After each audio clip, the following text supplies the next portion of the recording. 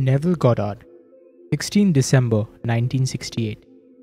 In his poem called Europe, which is a prophecy about you, William Blake said, Then any Enitharmon woke, nor knew that she had slept, and eighteen hundred years were fled as if they had not been.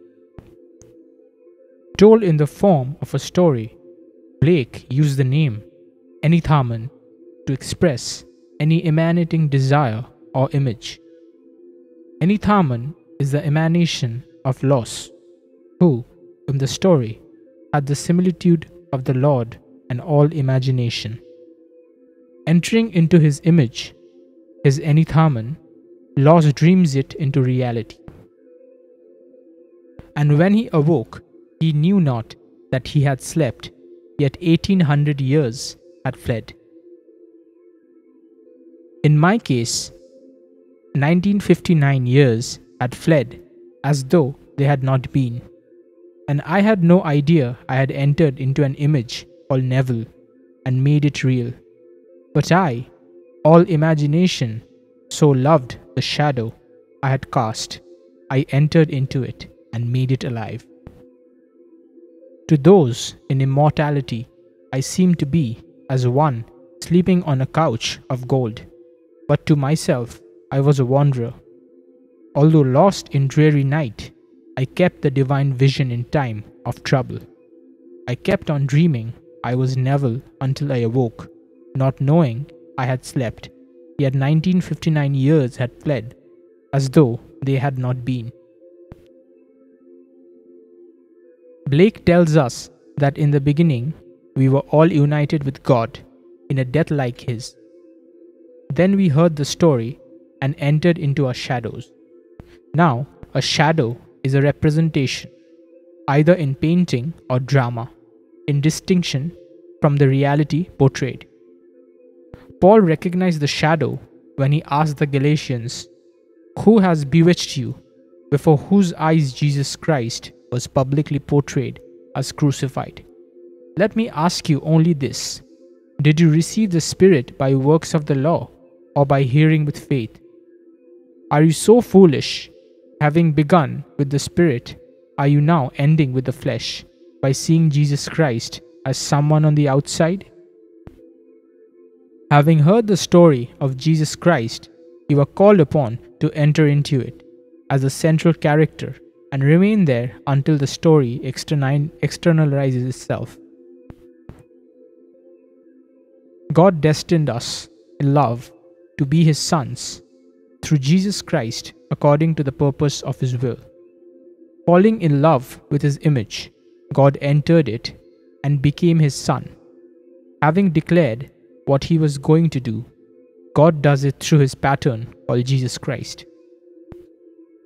Knowing what you want, when you conceive a scene that implies you have it, that objective becomes the pattern for your desire to unfold. Jesus Christ is God's pattern his purpose, which he set forth for the fullness of time. Christ is the plan, the image God entered and made so real, he claims he is the image. God's plan has completely unfolded in me. When I awoke, I knew not that I had slept, and 1959 years were fled as though they had not been. This is true for every child born of woman, for we were all gathered together and united with him in a death like his. Therefore, we shall certainly be united with him in a resurrection like his. Blake, writing in 1794, knew that 1800 years had fled when he, Enitharmon, awoke. Blake knew he was the emanation the shadow god entered and identified himself with. Blake tells us it was the image that awoke, knowing not that she had slept. The emanation is always feminine. Eve came out of Adam. Every desire is feminine, regardless of what it is, be it a house, money, or a new car. Imagination is the male, which must leave every doubt, every thought of impossibility behind, and cleave to the desired emanation until they are one. To do this, imagination must enter into the shadow and remain there until there is only the awareness of being or possessing the fulfilled desire. In this world of Caesar, it could take an hour, a day, a week, or a month to awaken the desire within and project it on the screen of space. But you must enter into the image and remain there, just as God did in the foundation of time, in order to make you Himself. God so became me that He awoke in the tomb. I did not know I had slept. In fact, I did not know I had been placed there, as I had become so one with it. In his book of Milton, Blake tells us that when he entered into his shadow, he appeared to those in immortality as one asleep on a couch of gold. But to himself he was a wanderer, lost in dreary night. Is that not the story of everyone? Lost and confused. Imagination is faithful to the image he has assumed, saying, I am John, I am Ray, or I am Natalie. Now, in the image of the being I fell in love with, Neville is my emanation, my shadow, and the image I have been faithful to. Many a time I have thought myself a wanderer in dreary night, confused and not knowing where to turn for a dollar. But those contemplate on death saw me as one asleep on a couch of gold. They knew the purpose behind my entering into the state of sleep, but they did not know what I was experiencing. You are in this world because you are in love with the being you believe yourself to be. You may say that is not true, but I say it is impossible for thought greater than itself to know. Do not believe anyone who claims to know. Do not believe anyone who claims to love someone else more than they do themselves, for they do not. It is impossible for thought to be greater than the image it believes itself to be. Yes, you want companionship, security, and health, but these are all part of the image you fell in love with and entered. You are now alive because you, a living being, have given the image called by your earthly name, life, and you will transform it into a life giving spirit, because that is what you really are. Before this drama called life began, you predetermined a perfect pattern called Jesus Christ, which would lead you back to where you were prior to entering into the image. Now, in this world, a man who wants to be a success in business can sit down and map out a pattern, a scene, which would imply he has the success he desires. Then, if he enters the scene and believes its truth, the pattern of success will unfold and the world will confirm it. But he must persist in the image of success, just as God persisted. For the day will come when God will awaken and express the success he believes himself to be. God enters into the image of every child born of woman to give it life. At that moment, God's real and immortal self is, to those who dwell in immortality, as one sleeping on a couch of gold. But to himself, he seems a wanderer, lost in dreary night. The day will come when he will awake, and unknown to him, 1800 or 2000 years will have fled as if they had not been. Use the same technique God used to become you. As one whose name forever is I am, God fell in love with you, His image, and entered it. Now, knowing you are, you say I am, so God is occupying His image and now answers to the name you were given at birth. Intrigued by the idea of expressing Himself in a, blob, in a body of flesh and blood, God entered this body by dreaming He is Neville God laid himself down within me to sleep, and as he slept, he dreamed he was I. For 1959 years later, when God awoke, I knew not that I had slept, and upon reflection, it was as though it had not been. For when God achieved his objective, which was to awake, and was conscious of the fact that he was the one he loved, all time vanished. Before awakening, there are barriers that separate God and his image, but once his objective is achieved, God awakes to the awareness that he and his image are one. This is the story the world celebrates and calls Christmas. Christmas is not the incarnation of God, but the awakening of man as God. Having fallen asleep and entering his image, God made it a living being. In Blake's case, it took 1800 years.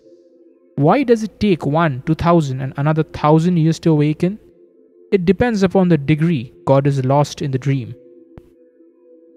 To what degree are you lost in your dream of success? Your world is your dream pushed out. When you can persuade yourself 100% that you are successful, success is yours.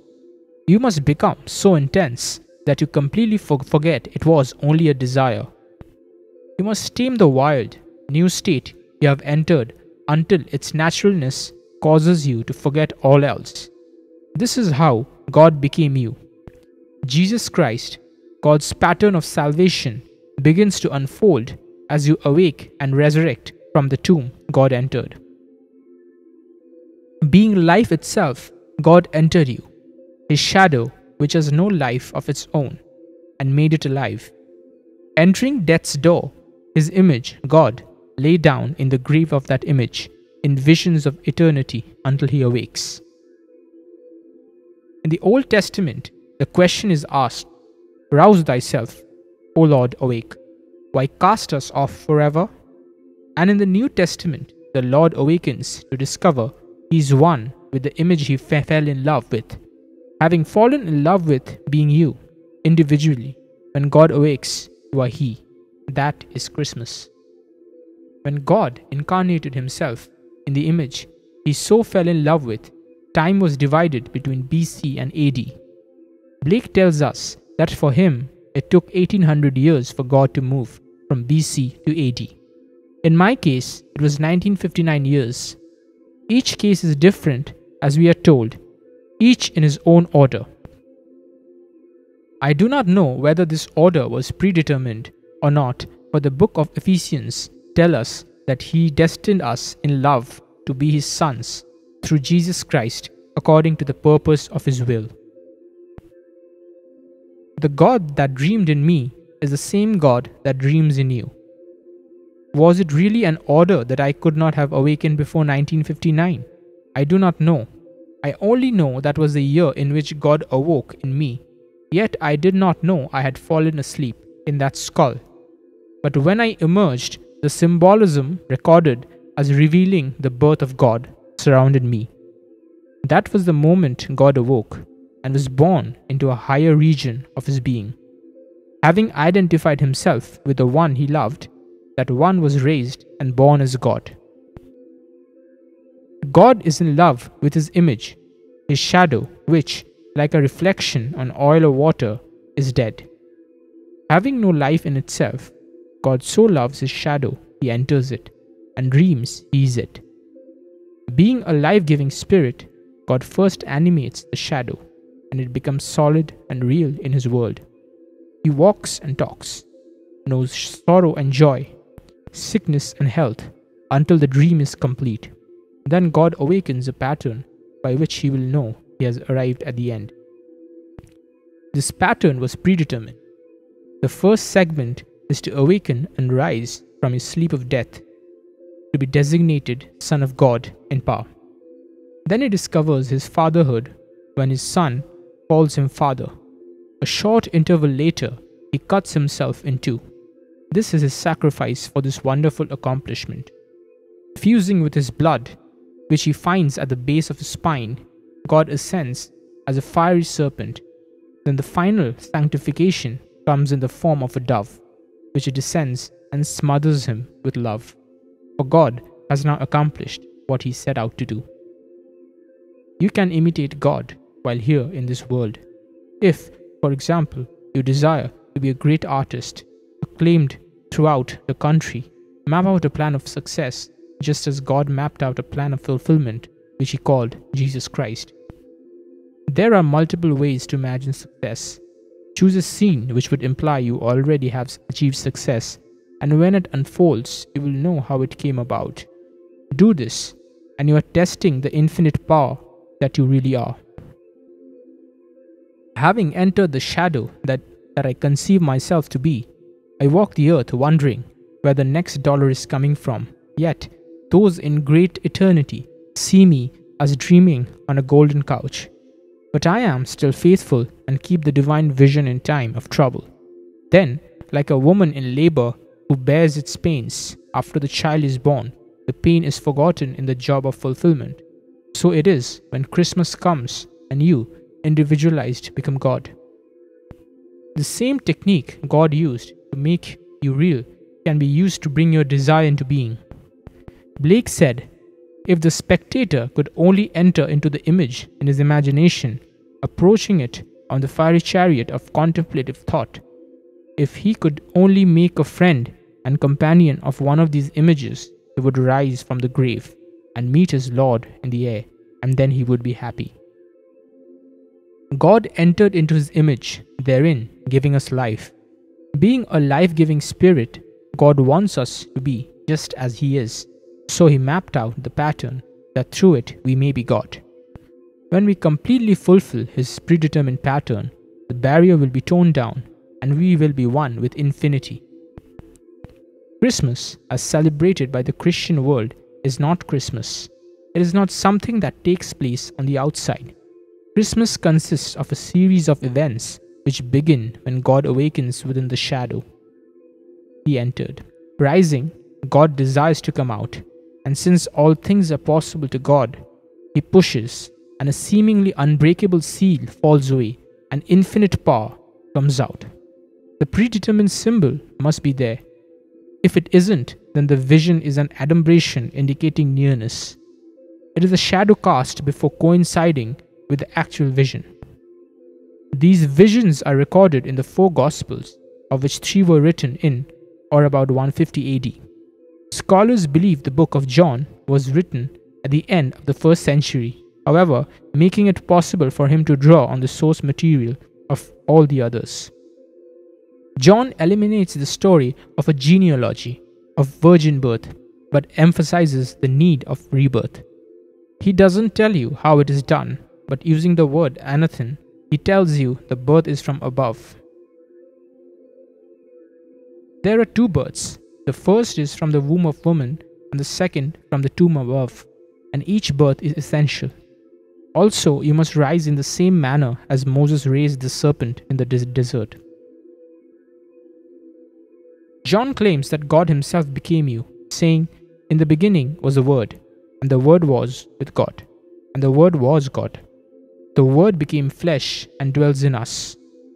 Here we see that God became flesh as you are and says, I am. So God is incarnated as an animated being, but that is not enough. He wants you to be as He is, and God is a life giving spirit. In order to do this, His pattern must be fulfilled. And when it is, you enter an entirely different sphere called the kingdom of heaven. Having fallen in love with your image, God entered that shadow and made it alive by falling asleep. Now, dreaming He is human, He loves you, the being you identify with today. You may not be in love with being poor, but that is not you. You could, you could be rich if that is your desire, but you are in love with being yourself. You would not give up your individuality for any other being. You may desire to have what someone else has, but not if you have to give up your identity. At one time, that which you have so identified yourself with was only a shadow, an image God entered. It was dead, and by God's entry, He made it a living being. And when God awakes, that living being becomes a life giving spirit. If it is a true awakening and not just a foreshadowing, the drama called Jesus Christ will unfold in 1260 days as foretold in Scripture. Do not be discouraged if your visions are foreshadowings. The promise will be fulfilled, for you are keeping the vision in time of trouble. At times, like Peter, you may have denied that you are God, but you are still keeping the divine vision. I fell in love with being Neville, as you fell in love with being you are now. You have dreamed poverty into being, health, being loved, being ignored, but you have never lost your vision of individuality. You will never lose it, for that is the one you fell in love with. And in the end, you will awaken as God, individualized.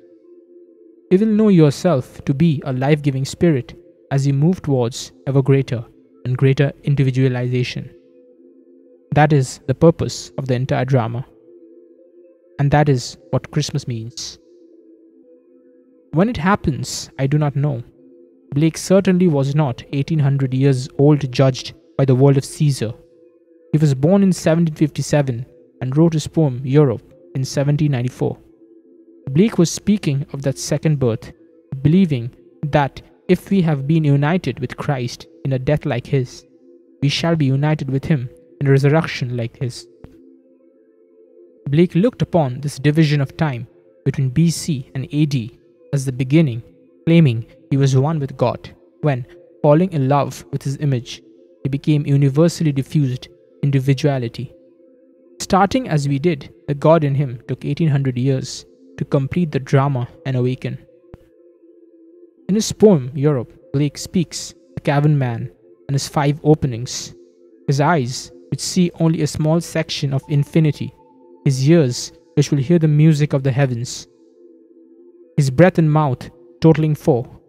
But Blake does not tell us where the fifth one is. He does, however, tell us that through this opening, man may leave at any time and return, but man does not choose to do so. What is that one but imagination? Standing here, I can imagine myself elsewhere. What opening do I use to imagine myself there? The fifth one of the five openings of the cavern man. Soon, the Christian world will celebrate this wonderful mystery which is completely misunderstood. But one day, you, individuality, will experience Scripture and know the true mystery of Christmas. Then you, too, will say, I woke and knew not that I had slept. The sensation is one of waking, not resurrection.